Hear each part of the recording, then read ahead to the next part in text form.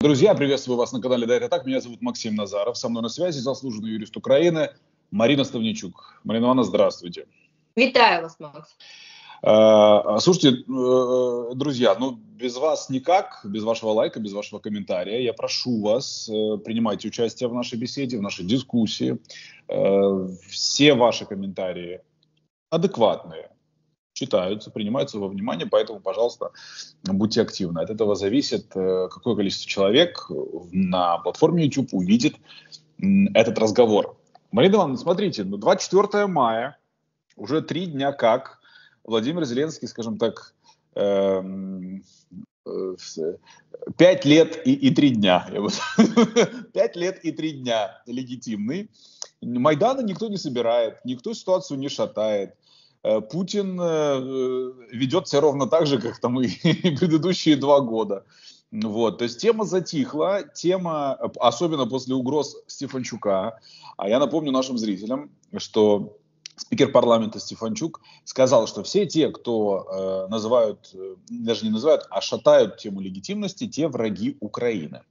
Мнение Стефанчука для меня, если честно, вообще ничего не значит, несмотря на то, что он тоже числится в отдельном столбике первоклассным юристом и адвокатом, да, если я не ошибаюсь.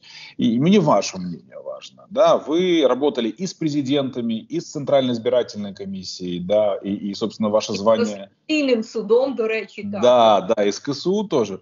Вот мне ваш вердикт хочется э, услышать, чтобы поставить в этой, э, в этой теме окончательную точку, по крайней мере в наших разговорах, и убедиться, что действительно никто не будет качать эту тему в дальнейшем, не внутри Украины, не снаружи. Макс, на відміну від багатьох інших, які до теми легітимності президента повернулися лише там в останній місяць. Угу. В останні дні, якраз напередодні, скажімо, завершення п'ятирічного терміну чи строку, скажімо так, перебування Володимира Зеленського на посту президента, ми з вами це питання обговорили достатньо давно. І декілька акцентів, які відповідають, як на мене, і конституції. Е, плюс конституційному законодавству України, а також а також вимогам політико, е, політико-правовим сьогоднішнього дня ми все ж з вами розставили вже декілька місяців тому. Ну, по суті, я прошу прощения, ви э, э, впервые у меня в разговоре использовали э, фразу, ну, по крайней мере, для нашего дискурса там в Телеграме, mm-hmm. да, в прессе сегодня, Э, это э, демократическая, скажем так, народная легітимність, вот так скажем. Безумовно, для мене питання легальності. Я пов'язую з формально правовою, конституційно-правовою легітимністю, і з цієї точки зору абсолютно без сумніву, виходячи з положень Конституції України, системного аналізу положень Конституції, а також конституційного органічного конституційного законодавства, зокрема про правовий режим воєнного стану, президент Володимир Зеленський на своєму посту під час стану, під час фактичного стану війни, під час воєнного воєнного стану в країні є легітимним і легальним. Редування? Це хто ще з нами Це звук. Це да, це це паралельно тут звук, це технічна накладочка. Я вас чую, я вас чую. Говоримо спочатку чи ні, ні, ні, ні, я вас чую, я вас чую. Ага, добре. Да. А, добре, але з точки зору, але з точки зору, е, так би мовити, е, демократичної легітимності, також важливо зауважити те, що е, сам стан формального конституційно-правового у конституційно-правового фіксування, скажімо, легальності, законності перебування на посту президента Володимира Зеленського у цей період і на найближчу перспективу має легальний характер, передбачає все, що це не індульгенція для теперішньої влади на будь-яку поведінку. І президент України, і у цілому українська влада зобов'язані на сьогоднішній день у цих складних воєнних умовах робити все, щоб зберегти довіру і повагу українського народу, щоб е, забезпечити людям віру у майбутнє, щоб найголовніше відстояти національний і територіальний національну безпеку, територіальну цілісність, державний суверенітет України. І тут дуже важливо розуміти, що з одного боку суспільство українське, насамперед, український народ, мають бути впевнені, впевненими і переконаними у тому, що як тільки складеться можливість завершення воєнного стану у державі, держава уже вживає. І вживе на там найближчу перспективу всіх заходів щодо проведення виборів, зокрема президента України. Це з одного боку, а з іншого боку, при всій складності сьогоднішнього дня президент українська влада має бути зі своїм народом, зі своїми збройними силами України. Власне кажучи, це ті аспекти, які ну надзвичайно складні, надзвичайно проблематичні і для влади, і для людей. Тим не менше, оцей баланс, режим довіри режиму довіри все ж таки треба намагатися зберігати, бо це Я, ну от Марина Ивановна, як тут вопрос понимаете в том, ну вот, например, доверяем ли мы во время войны социальным опросам, на которых опиря, опирается власть э, из года в год? Не доверяем. Мы знаем прекрасно, что они проплаченные, и они конъюнктурные, и они подконтрольные. Это понятно. То есть мы не можем верить, это не... То есть мы впервые можем зафиксировать, что социологические опросы в Украине нерелевантны ну, согласно Макс, э, э, с такой вашей оценкой, и не раз мы тоже говорили об этом в эфире, единственное, что могу сказать, что это э, применимо не только к украинской власти, не только к украинскому государству. Это общая тенденция сегодня в мире, по большому счету. Согласен. Достаточно сложно рассматривать науку, социологию сегодня в собственном смысле и доверять результатам тех социологических исследований, которые проводятся в разных странах. Тем паче есть действительно сложности в э, условиях... А на что тогда опираться, когда мы говорим о народной легитимности? На что? Ну, на Facebook комментарии? Что народная легитимность, она неразрывно связана все-таки с Конституцией и с э, правовой системой государства. Поэтому, э, исходя из того, что баланс вот этого доверия, необходимость э, соблюдения доверия со стороны людей к власти нужно все-таки обеспечивать, власть каждый раз должна сверять. Мне кажется, что я говорю какие-то формальные вещи. В украинских реалиях э, они далеки, к сожалению, от от того состояния, в которых находится сегодня государственное mm-hmm. управление, да.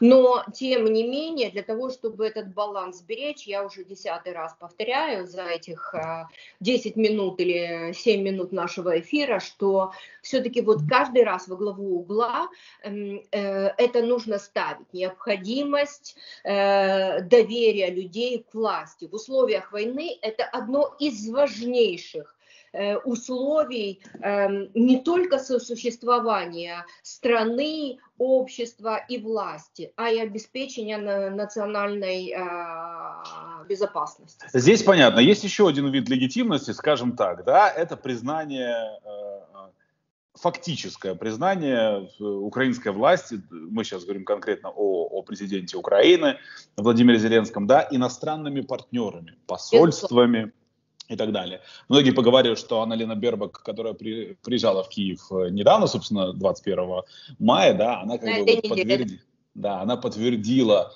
э, э, легитимность президента. Да, да, да. Теперь мы говорим о том, что глобально весь цивилизованный мир подтвердит легитимность Владимира Александровича на, на саммите мира, который пройдет через чуть меньше, чем через месяц.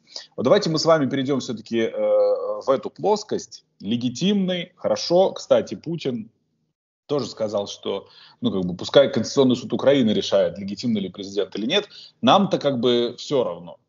То есть Макс, признают.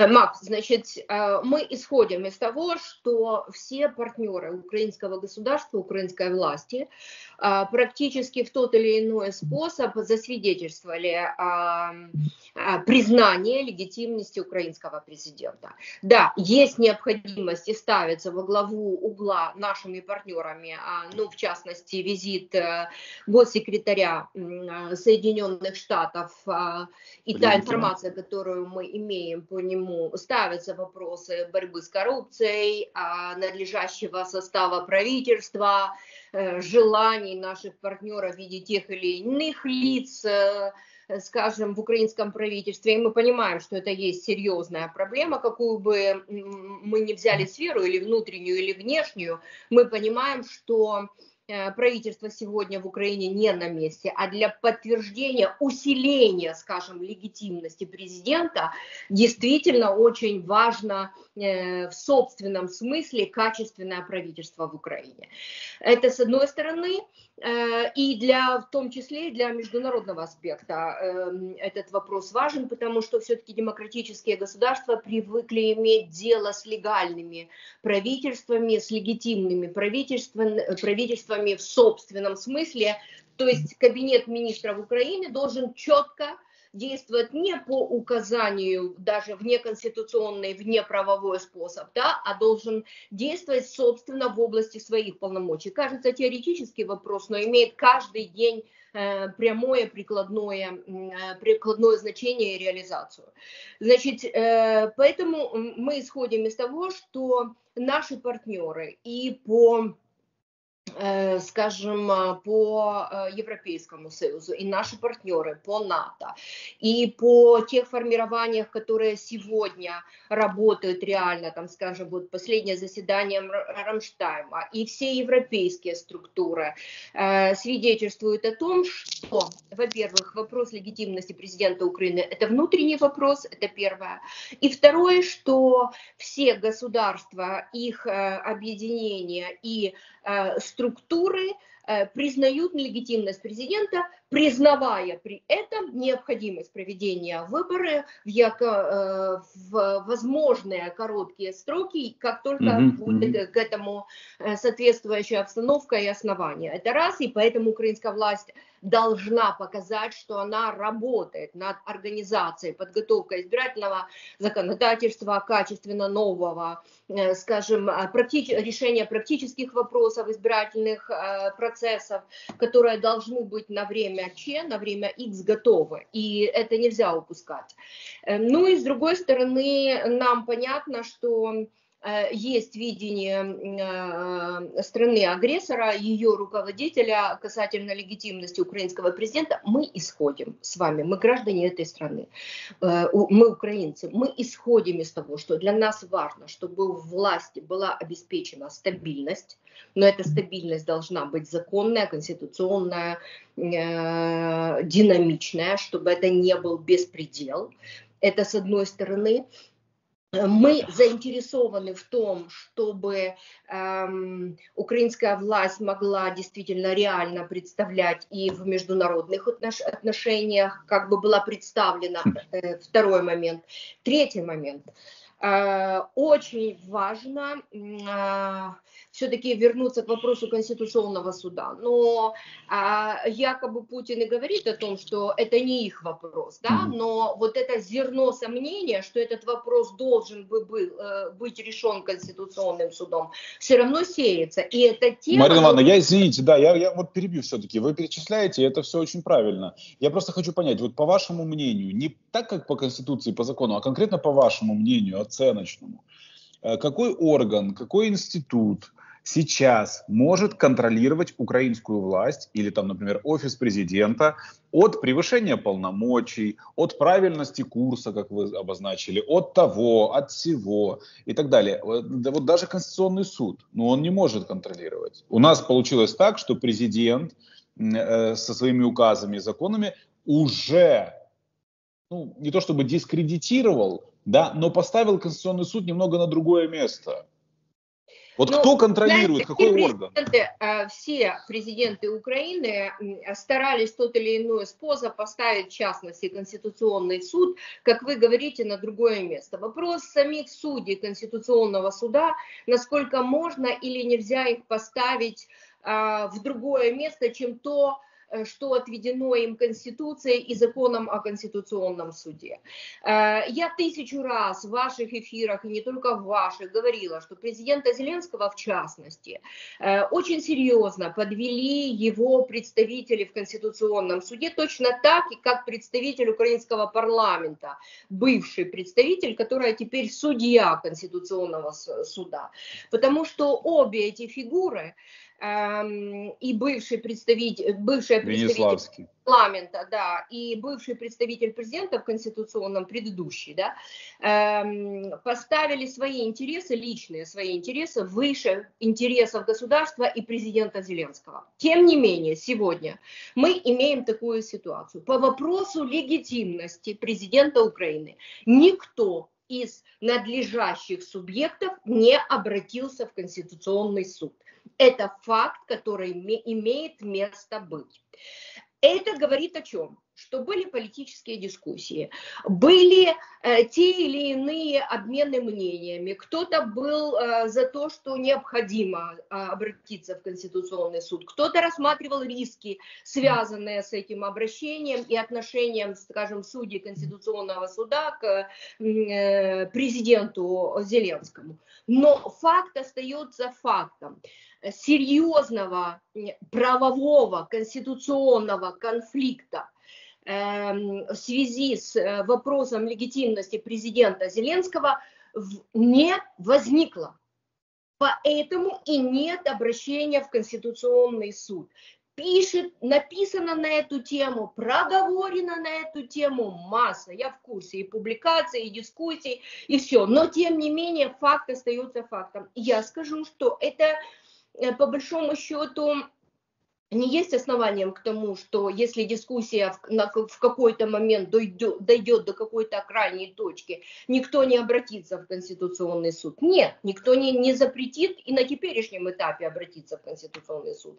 Тут важно, что конституционного конфликта, конституционно-правового конфликта среди наш, в середине нашей страны в политикуме украинском все-таки не было в такой степени, что была необходимость обращения в Конституционный суд.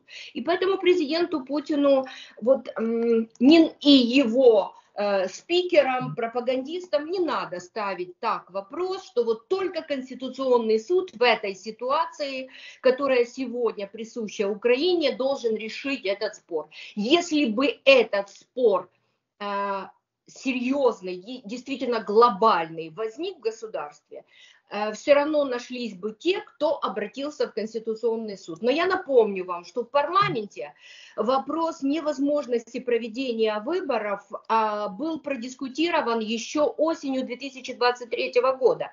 И тот меморандум, который заключили парламентские фракции между собой еще в ноябре 2023 года, свидетельствует о том, что в парламенте был определенный политический консенсус, если хотите, по вопросу невозможности проведения выборов.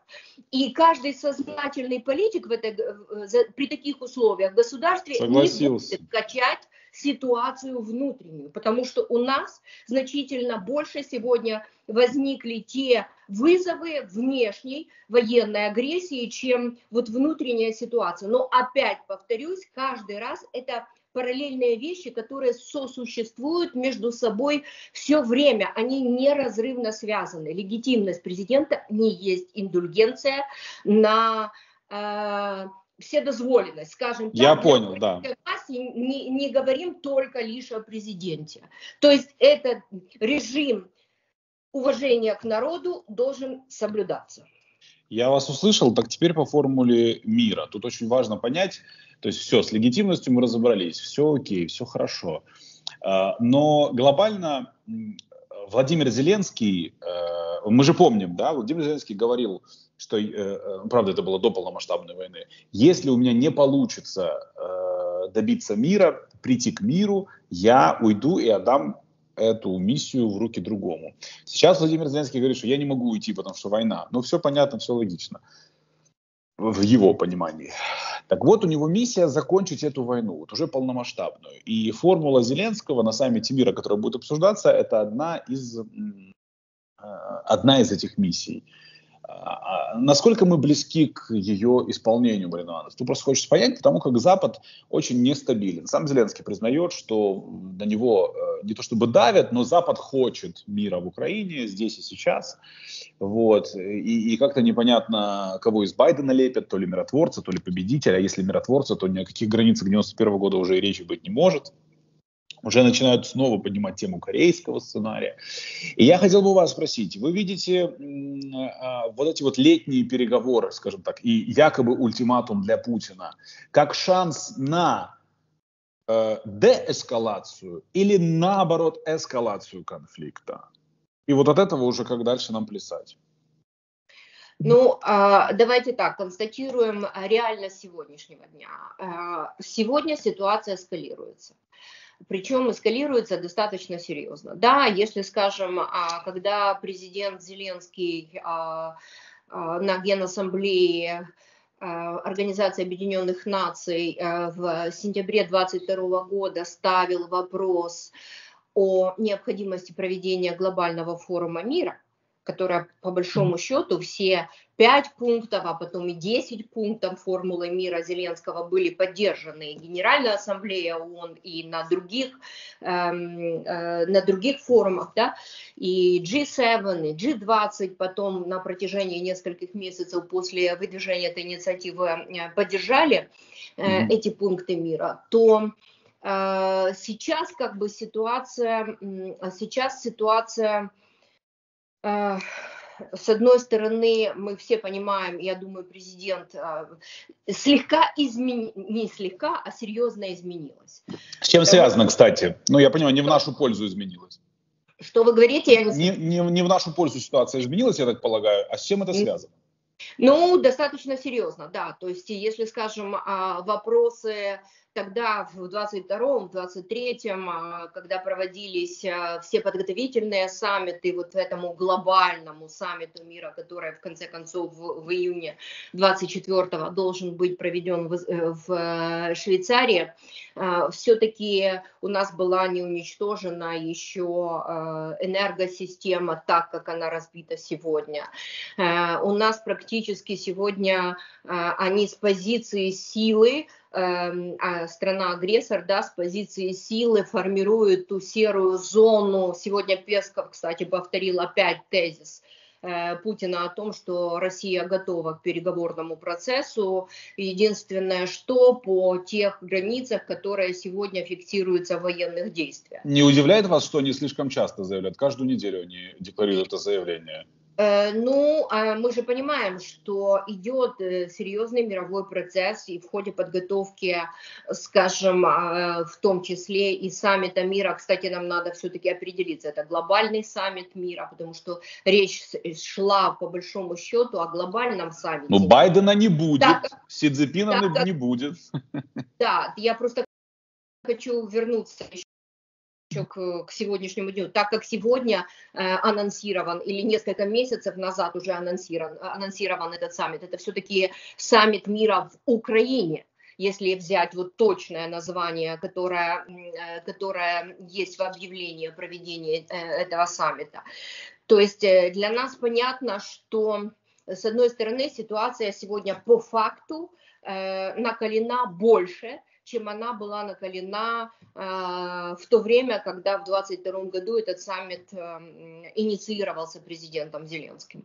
Ситуация значительно осложнилась военным положением, военной ситуацией, да, по ведению э, военных действий. Да, Харьков сегодня каждый день на повестке дня, но мы понимаем, что Харьков э, на слуху, Харьков будируется, но они борются полностью за выход на границы территориальные э, Донбасса, Дон, Донецкой, Луганской области, с тем, чтобы в какой-то момент Че при переговорном процессе уже говорить о том, какие, э, на какие территории они претендуют. Сейчас заканчиваю хотим мы или не хотим, из нашего суперпромышленного, суперинновационного региона Харьковской области, они ежедневными этими своими э, налетами ракетными формируют эту серую зону, о которой э, он так невзначай э, говорит. Поэтому ситуация очень сложная.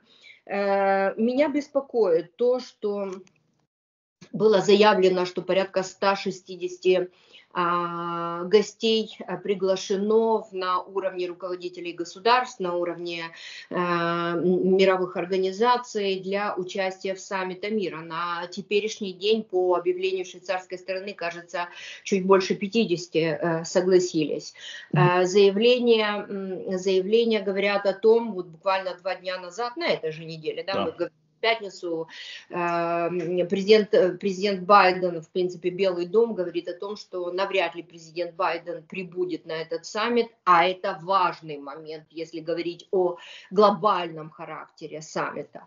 Эм, визит Путина в Китай и их совместное заявление, к сожалению, в Украине как-то, так знаете, слегка пренебрежительно или все-таки недостаточно внимания уделили совместному документу, people говорит, э, э, а совместный документ все-таки говорит о том, что Китай продолжает настаивать на своем мирном плане, и в этом совместном соглашении, э, ну, красной нитью звучат вот эти пункты 12, 12 предложений, которые есть в китайском плане мира, да, которые по большому счету где-то совпадают с позицией Владимира Зеленского, Не, ну, а где-то размывает. Понятно, да. да, а где-то все-таки размывает. И то, что Владимир Зеленский Зеленский говорит о том, что из 10 позиций на сегодняшний день э, можно будет достаточно серьезно обсуждать три позиции мирного плана или формулы Владимира Зеленского, формулы мира,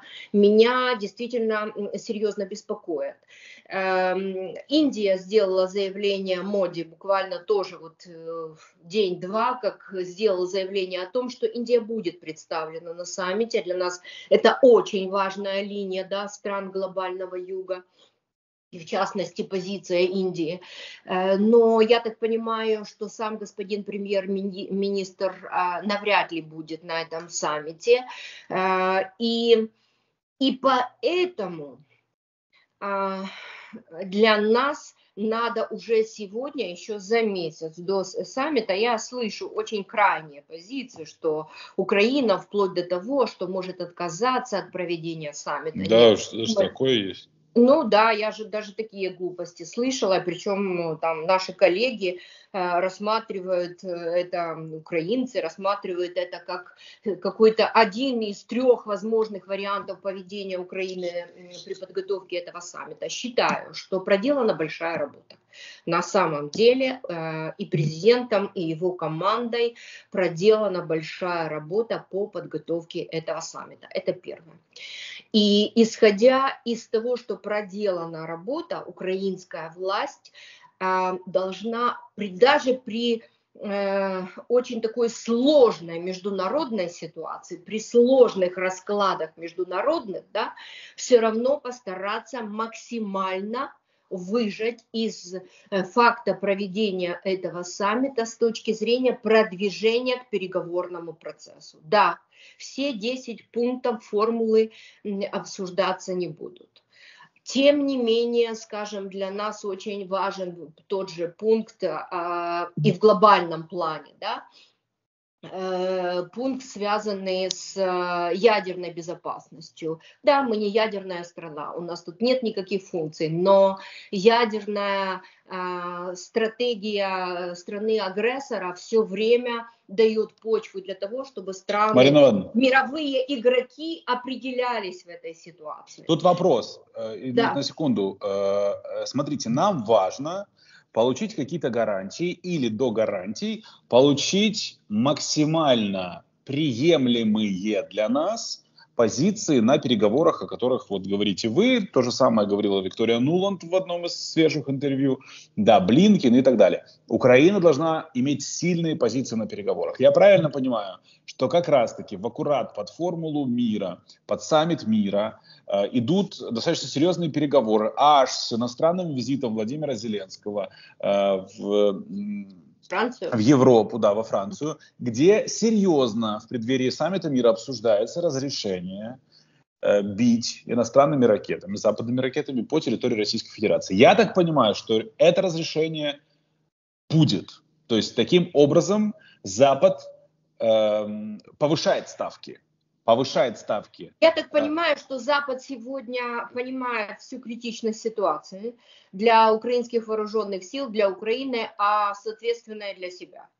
Я так понимаю, что гласно или негласно, в зависимости от стран, которые дают нам военную помощь, в, качестве, в том числе э, ракетами дальнего действия, мы уже имеем согласие на то, чтобы преследовать законные цели на территории Российской Федерации. Статут Организации Объединенных Наций никто не э, отменял. И мы как страна-жертва, как страна, которая, народ, который имеет право на Э, самооборону можем использовать все методы, которые кроме тех, которые прямо запрещены международным правом, в том числе а, гуманитарным военным э, правом, э, можем использовать все методы для своей защиты. Современные способы ведения войны говорят о том, что без поражения объектов, которые на оккупированных территориях и имеют стратеги... оккупированных территориях Украины и имеют стратегический характер для ведения этой войны, и объекты Э, которые имеют стратегический э, характер на территории врага, есть законными целями международное для Украины. Международное право никто не отменял. К сожалению, Соединенные Штаты, наши партнеры с самого начала войны недооценили а, а, этой ситуации, недооценили врага. Сегодня я еще раз говорю, по э, по тем а, новостям, которые мы слышим, скажем, из Автономной Республики Крым, э, а, из эм, э, тех или иных территорий Российской Федерации, я понимаю, что разрешение мы имеем. Э, это один момент. Более того, формально Э, формально, я думаю, сейчас вопрос стоит уже даже не об этом, а формально стоит вопрос о том, чтобы вот этот зонтик, о котором э, все время говорили ПВО, европейский, все-таки использовать и для Украины. И об этом, скорее всего, будет речь а, при встречах а, в первую очередь Владимира Зеленского с Эммануэлем Макроном и с лидерами а, э, европейских стран на теперешний, э, на теперешний момент. Это для нас сейчас более важно, потому что э, ну, это важно. Еще главный вопрос, вот эти ультиматумы, которые якобы выставляются или будут выставлены, а, они в чем заключаются? Какой, какой ультиматум еще после всех этих жутких санкций, которые должны были обвалить экономику России и не дать ей возможность воевать и победить, собственно, да, а, не сработало нифига. Зарубежные активы не сработало нифига. Гаагский трибунал нифига не сработало. Какой еще может быть ультиматум для России, учитывая то, что, в принципе, Штаты хотят примирения, Штаты хотят торговать дальше полезными ископаемыми, титаном и так далее, и так далее, и так далее. Какой ультиматум вот России для того, чтобы Путин закончил войну или хотя бы засомневался, стоит ли ему идти дальше? Э, э, вот что, что делать, какие, вот можете Макс, на, на, на пальцах? Макс, нас ждет очень сложный, тяжелейший переговорный процесс.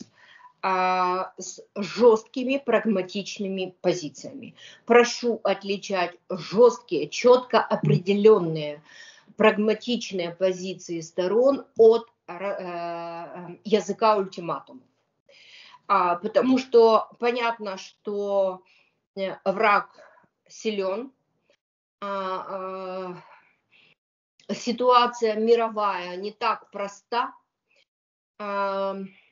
настроение наших партнеров, исходя из того, что целый ряд электоральных процессов начат и в Европейском Союзе, и э, в странах Европейского Союза, и в Британии вот сейчас на этой неделе премьер-министр э, назначил и э, король согласился с проведением досрочных выборов. Ситуация не так проста в мире. Поэтому для меня понятно, мы Украина должны иметь четкую, жесткую, прагматичную позицию. Но это не должен быть разговор яз, э, языком ультиматума. Потому что ультиматум это всегда так. Я считаю, что это так, а все другие позиции мне не важны. К сожалению, военный расклад и военный тупик в котором находится и Россия, и Украина, а нам некуда деться. Мы сегодня в, в ситуации, вот военный, военный эксперт, но то, что я слышу и вижу, это определенный тупик и для страны-агрессора, и для Украины. Он эм, должен прекратить процесс разговора ультиматумов, а до вот этот разговор способом ультиматума должен заменить жестко просчитанный, прагматичный переговорный процесс. Понял. И, Запад, да, Марина Ивановна, и это, и это есть главное. Запад, я уверена, что Запад будет от нас требовать. Нам надо четко определить э, именно такого контекста переговорного процесса. Это первое. И второе. Нам надо четко определить, каковы наши интересы только реального характера. Вот реального характера, исходя из того, как будет развиваться военный театр э, действий, как, э, как, какие возможны тут выходы и прогнозы в этой ситуации, и каковы будут политические э, позиции, внутренние политические э, позиции в европейских странах и в Европейском Союзе после выборов. Я услышал... Извините, извините, и тут очень важна мы же сейчас ведем борьбу э, за то, чтобы, или большую работу, скажем, не борьбу, а большую работу организационную, чтобы и страны глобального юга были представлены на... Ну, мы их потеряли, очевидно, мы их уже потеряли. Ну, Э, да, но они представлены, вы вспомните, как 30 стран глобального э, юга размывали, по сути, в свое время формулу, э, Зелен, формулу мира Зеленского, исходя из того, что предложили свои 10 пунктов мира, которые так и повисли в воздухе, но тем не менее, это как инструмент, настаивая Э, настаивать им на какой-то еще третьей, десятой, тридцатой позиции э, в этом переговорном процессе. И в процессе э, установления глобального стабильного мира и в процессе установления мира в Украине. Марина Ивановна, на финал, знаете, когда мы говорим, мы с вами очень часто сегодня используем слово «справедливость», если это касается геополитики, если это касается Украины, мы же боремся за справедливость. Э, у меня постоянно зрители спрашивают, Макс, а что по справедливости э, Украины как государства по отношению к Украине стране, то бишь к своим гражданам? Да, и, конечно, тут поднимается в первую очередь тема мобилизации. Вот вы знаете, мы сегодня шутили с э, моими ребятами, коллегами. Вот если бы Э, можно было бы, да, сэкономить денег и не заказывать социологические опросы о том, украинцы, которые там хотят воевать, не хотят воевать, хотят мира, переговоров, а просто оценивать ситуацию в стране по лайкам в телеграм-канале Труха, где пишут о теме мобилизации, сколько там дизлайков, сколько там ну, негодования, негодования украинцев, да? то можно было бы делать правильные выводы. Но их никто не делает. Я к чему? Мобилизация, вот уже все, 18 мая, два месяца для того, чтобы обновить данные в военкомате. Э, часть украинцев уже скачала э, документы Резерв плюс, да. Более но, на людей уже, да. По, ну тут, понимаете, тут вот выходят всякие разные э, спикеры военкоматов Залопупинска какого-нибудь или Хацапетовки или, э, э ну, вы понимаете, Мухасранска, простите уже за, за, за мой французский, да, и начинают комментировать по сути, дискредитируя систему и, собственно, весь процесс мобилизации. Говорить о том, что ну вот, через систему Резерв Плюс начнут выписывать повестки. Все, сказала, полетела по всей стране, люди снова испугались, люди снова э, или начали удалять или что-то еще. А, плюс э, мы уже слышим заявление о том, что военкомат будет искать уклонистов, по налоговым системам, да, по, по налоговым, по, по, по тем, кто платит налоги. Плюс еще, плюс еще. И каждый день, Марина Ивановна, мы видим, как ТЦКшники себя продолжают вести, запихивая в бусики людей, э, при женщинах, при детях, в общем-то, но ничего не меняется, только усугубляется. И вот у меня тут главный вопрос. Э, э, получится ли и мы сейчас с вами не рекламируем, мы не занимаемся промоушеном, и наоборот, мы ни в коем случае там не, не дискредитируем этот процесс. Получится ли такими методами э, э, осуществить эффективную мобилизацию? Или есть какие-то другие методы? Если есть, пожалуйста, назовите.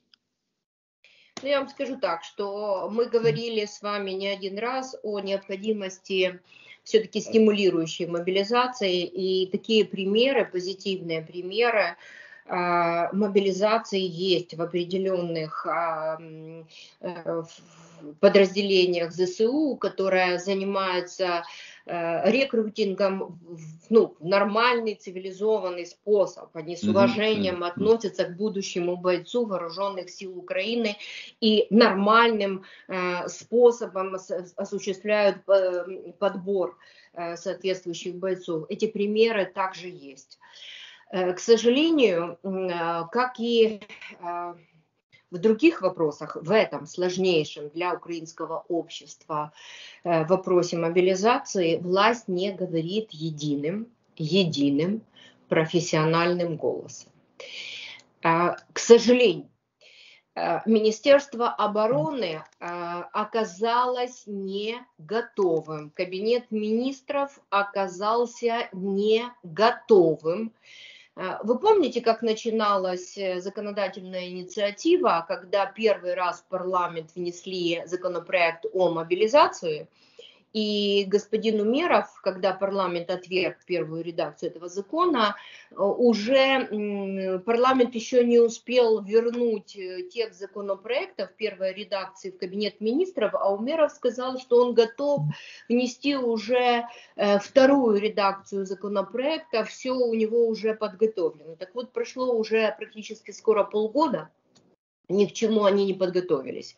Потому что, если вы вспомните... Но военные подавление... очень недовольны Умеровым. Если, Мария Ивановна, вы общаетесь с военными, вы тоже знаете, очень недовольны Умеровым. Очень. Так вот, я, я же вам хочу сказать, что такое, что постановление 560 Кабинета министров Украины, которое э, э, вступило в силу вместе с э, законом, 11449, да, э, или 10449, простите, а, за два дня до э, вступления в силу закона было лишь принято. Вы понимаете, да, насколько и Кабинет министров, и Министерство обороны оказались не готовы к нормальной, э, к нормальной организации процесса мобилизации. Очень плохо, и на этом играет сейчас русская пропаганда. Вы посмотрите, я не читаю труху, ну вот не читаю. Ну, это, это кстати, к лучшему. Да, да, не знаю, сколько там лайков, дизлайков и всего остального, но, э, скажем, те случаи, которые имеют место в территориальных центрах комплектации, когда военные на местах ведут себя э, просто безобразно, которые приводят к увечьям, которые э, приводят к гибели тех или иных гражданских, которые хотели бы мобилизировать, это единичные случаи. Но, в информацион, но информационное поле построено таким образом, что создается впечатление, что это массовый характер такого поведения. Хотя я скажу, что это все-таки единично. Это говорит о том, что с информационным полем те, кто обязаны работать, не работают так, как нужно. Это Подождите, первое. да, это понятно. Второе. Мне секунду, я важно очень понять. Вот смотрите, информационное поле. Я как участник этого информационного поля, мы вместе с вами. Вот вчера вечером выходит очередное там расследование э, на Бигусе, понятно, все им слили, э, внутриклановая борьба продолжается, и, значит, вот это расследование о том, что у начальника нацполиции снова там супербогатая теща, на подругу жены дома написаны, переписаны, миллионеры, миллиардеры все, понятное дело, коррупционная составляющая. И вот это информационное поле. А это информационное поле влияет на процесс мобилизации? Влияет. Ну, я так Конечно, считаю. Влияет, потому что люди прямо говорят, мы бы воевали за свою страну, но за такую власть воевать не хотим. Это же как бы, э, э, это же все идет к тому, что вот, это, вот, это, вот этот тезис формируется такими информприводами, да, информ, э, как бы... Э, Инфоповод, да, да, да. Да, э, месседжами. Но, с другой стороны, тут же ситуация какова? А, если говорить о коррупции, так надо ее искоренять как такую, э, как таковую, а не бороться с э, тем, что, чтобы об этом не говорили в информационном поле. Тут тоже есть вопрос. То есть власть должна демонстрировать все-таки ну, правильный образ поведения. Хотя мы, вы посмотрите, что делается в той же Российской Федерации, в том же Министерстве обороны. Да? Абсолютно уже сколько генералов, сколько высших начальников вооруженных сил сегодня э, арестованы, предъявлены обвинения в, по коррупционной составляющей и так далее. То есть э, понимаем, да, что идет, идет, это не только у нас, скажем, это есть. Но давайте вернемся к суто мобилизационному процессу.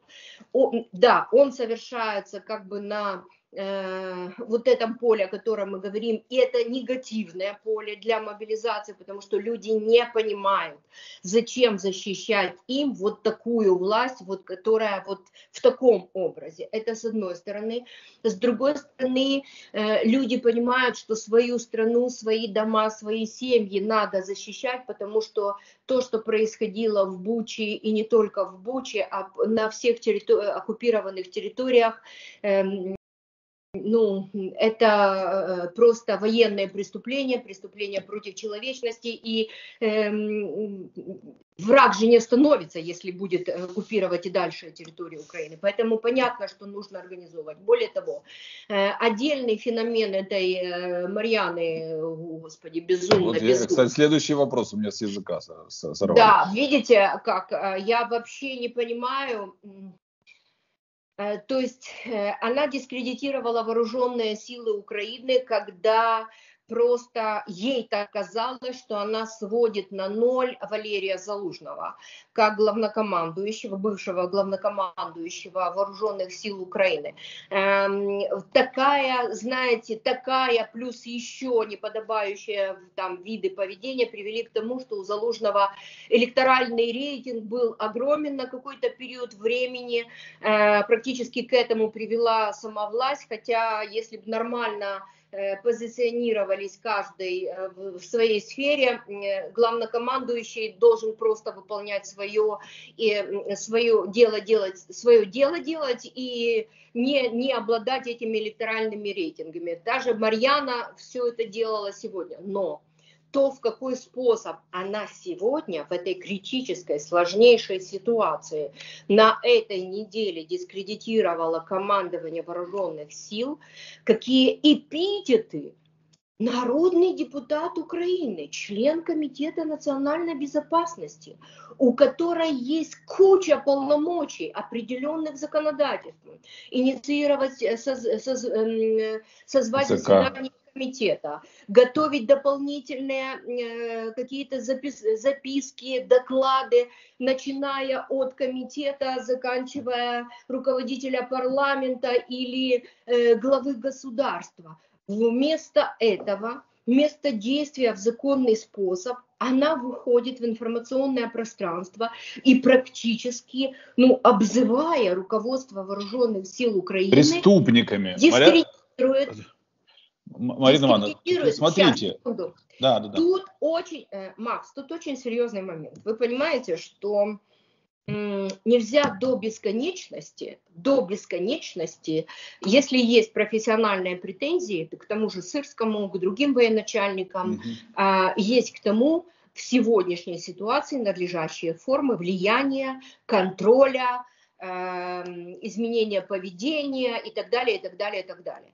Если власть опять себе, ну, скажем, задала цель всю ответственность за ситуацию переложить на главнокомандующего Сырского и как на мальчика для избиения, то навряд ли это получится, потому что э, ошибка, политическая ошибка с Валерием Залужным привела к тому, что вся ответственность за состояние дел, в том числе и на войне, на сегодняшний день переложена на верховного главнокомандующего Владимира Зеленского. Тут Поэтому понятно. все в одной лодке, начиная от президента Зеленского, от э, командования вооруженных сил, от до последнего гражданина, включая нас с вами, да, э, сегодня ответственность за судьбы страны лежит практически на всех вместе.